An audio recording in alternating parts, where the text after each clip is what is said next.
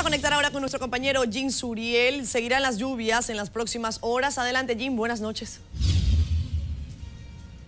Muchas gracias, muy buenas noches, Catherine. Al este de la región del Caribe tenemos tres disturbios tropicales que podrían convertirse en ciclones tropicales durante los próximos cinco días. Vamos a estar muy pendientes al este de la región del Atlántico porque empiezan a salir ondas tropicales y sistemas de bajas presiones que tienden a aumentar su intensidad mientras transitan hacia la región del Caribe.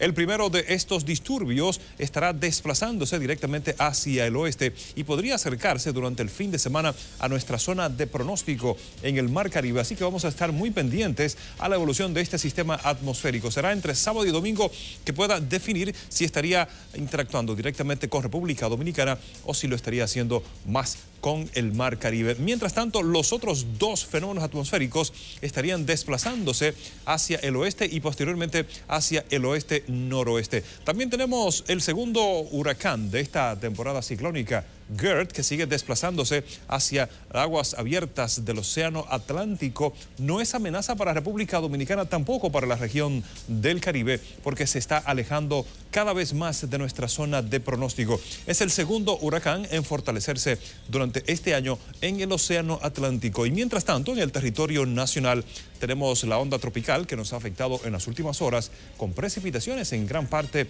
del territorio nacional saliendo de nuestra zona de pronóstico. Durante las próximas 24 horas estará alejándose del país. No obstante, dejará algunos fragmentos nubosos suficientes para seguir aportando precipitaciones de corta duración en el territorio nacional, principalmente hacia la cordillera central, también Cibao y Norte, hacia la zona fronteriza suroeste y también hacia el sur y noreste del territorio nacional. Estas han sido las informaciones meteorológicas. Regreso contigo. Gracias, Jim, amigo. Que tengas muy buenas noches.